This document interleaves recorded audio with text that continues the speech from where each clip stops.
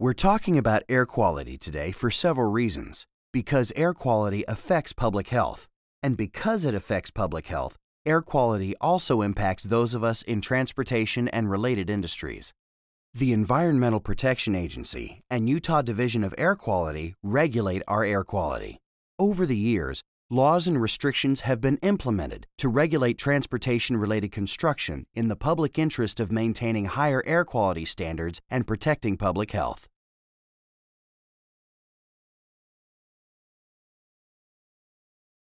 The health effects of air pollutants range from subtle issues to more obvious impacts, such as difficulty breathing, coughing, and aggravation of asthma and emphysema.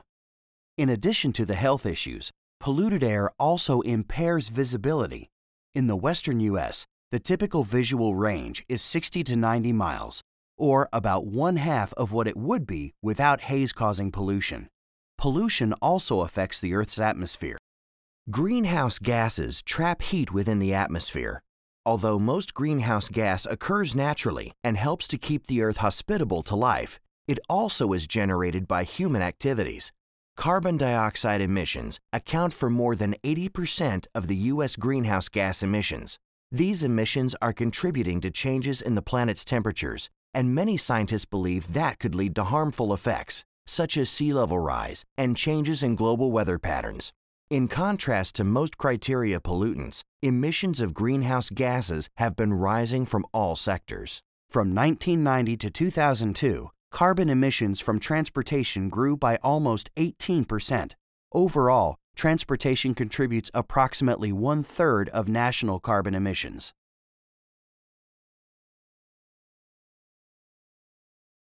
Substances not naturally found in the air or at greater concentrations or different location than usual are referred to as pollutants.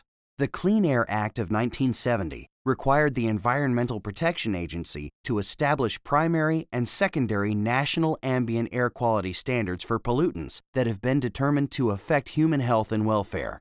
The primary standards are designed to protect against adverse health effects, while the secondary standards protect against welfare effects, such as decreased visibility.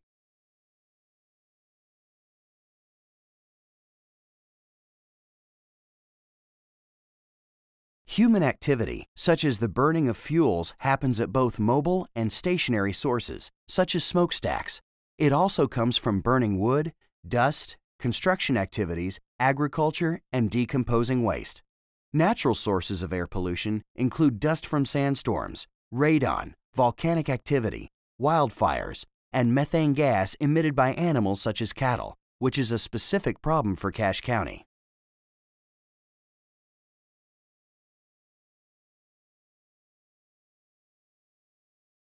Utah's Division of Air Quality monitors pollutants that have an immediate health effect.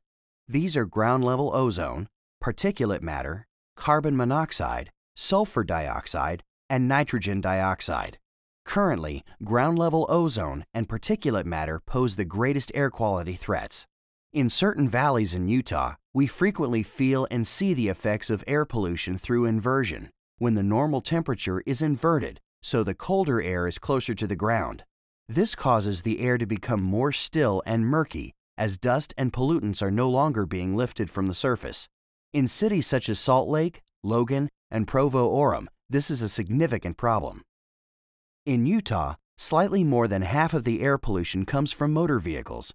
Industry, as well as natural sources, contribute significantly to our unhealthy air. The Division of Air Quality's Red Light Green Light program identifies conditions as red, yellow, or green to inform Utahns of the severity of pollutant levels.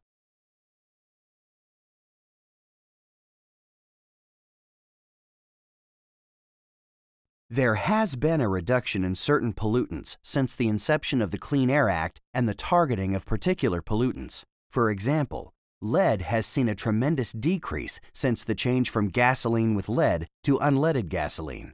After being targeted, even with increased populations and more prevalent driving, carbon monoxide emissions have also shown a decreasing trend, and this trend is expected to continue. However, air pollution concentrations are a function of meteorology and emissions. While weather cannot be controlled, the emissions inventory can be controlled and is the focus of air quality control strategies for automobiles and industrial facilities. Air quality is a complex chemical reaction, and while we have tried certain methods to reduce other pollutants, we still have progress to make. By today's standards, Utah's air quality has gotten better. By tomorrow's standards, we need to improve. Red air quality alerts issued by the Division of Air Quality have shown alarming spikes over the years. In 2007, there were 40 Choose Clean Air Days declared by the Division's Air Monitoring Station, the most we've seen since 2004. Possible reasons for the rise in bad air days include climatic changes and changing standards. As we learn more about air quality, the standards are refined. These air quality changes require close monitoring in order to maintain and improve the quality of life in Utah. Monitoring, measures, and regulations are discussed in the accompanying Air Quality and Transportation Conformity presentation. For more information about air quality and how it relates to transportation planning, contact UDOT Planning.